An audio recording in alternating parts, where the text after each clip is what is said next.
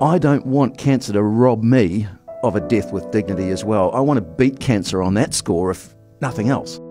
It's about this. Can you imagine two scenarios?